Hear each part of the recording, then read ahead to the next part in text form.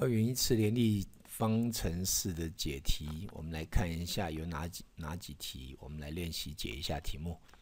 好，第一个题目：已知甲骑脚踏车，乙用步行，沿相同路线从 A 地到 B 地，若乙先走六公里，甲才出发，甲出发一小时后，两人同时到达 B 地。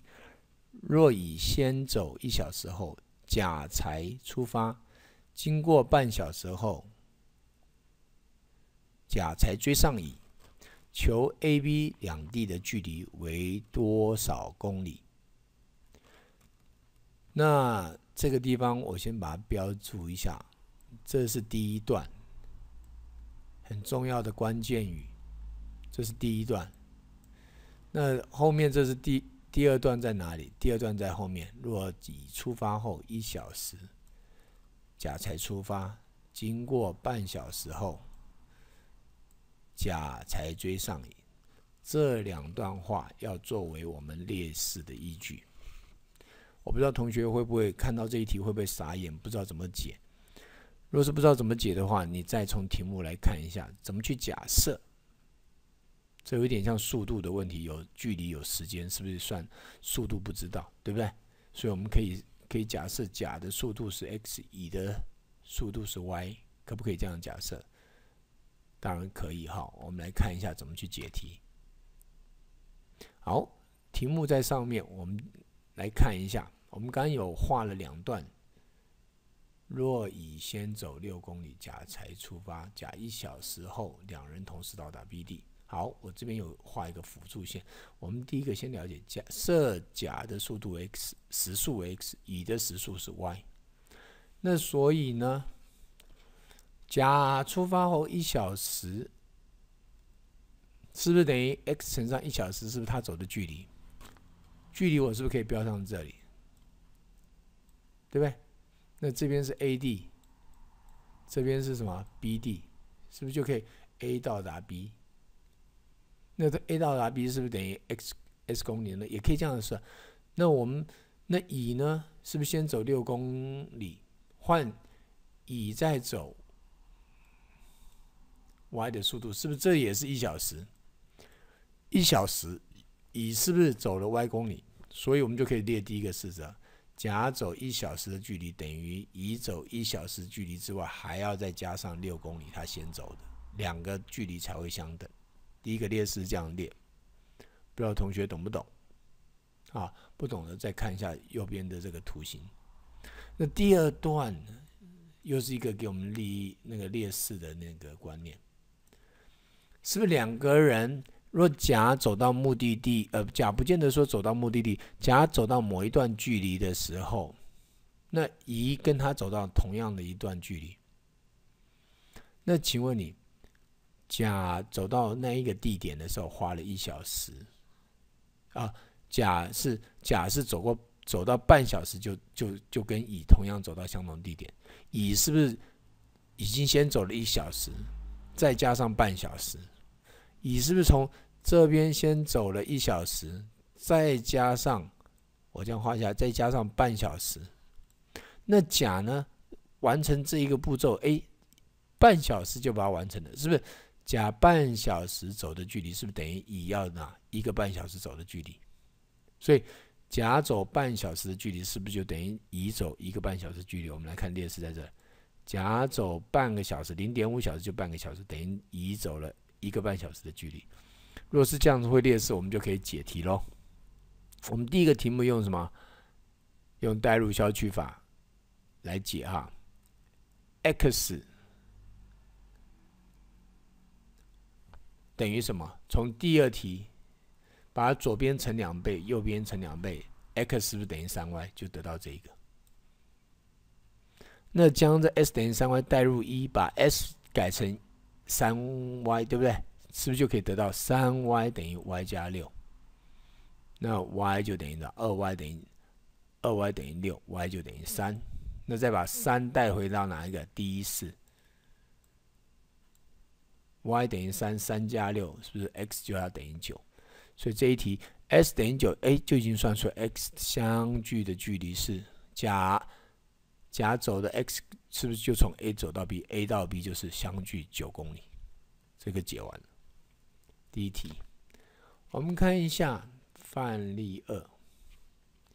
小薇的家人和阿华的家人到阿荣餐厅用餐，餐馆的计费方式和小维、阿华的家人组成如下表。已知小维的家人共花了八百六十元，阿华的家人共花了六百八十元。请问表中的 S Y 值为何？请问表中的 S Y 值为何？S Y 在这里，那是不是？小维家一百四十公分以上有几个人？两个人。阿华家有几个人？也是两个人。那一百到一百四十公分有几个人？小维家有两个人，阿华家只有一个人。所以它的组成分子已经知道了哈。所以我们可以列式是不是二 x 加上二 y 是不是小维家花的钱？那阿华家呢就是二 x 加上 y。是不是要等于六百八十元？我们看一下解题是不是这样列式哈。好，题目已经知道了，所以一题一可以得到二 x 加上二 y 等于八百六，二 x 加 y 等于六百八。这个题目很简单，因为什么？s 的系数一样，由由一减二。为什么要一减二？因为这边八百六，六百八。八百六比较大，所以用这系数一样，用大的减小的，所以一减二，那二 y 减 y 是不是得到 y？那右边呢就等于八百六减掉六百八，等于一百八十元，y 等于一百八十元。那带回谁？带回第二式。带回第二式，二 x 不是就等于六百八？把 y 搬过来，不是就减掉一百八了吗？六百八减掉一百八，不是等于五百？那二 x 等于五百，那 x 就等于两百五，这个就是我们算的答案了。所以每人消费一百四十四十公分以上要一两百五十元，一百到一百四十公分每人消费是一百八十元。好，范例二我们就解完了。我们看一下范例三，二年三班共有学生四十五人，某班某次数学小考。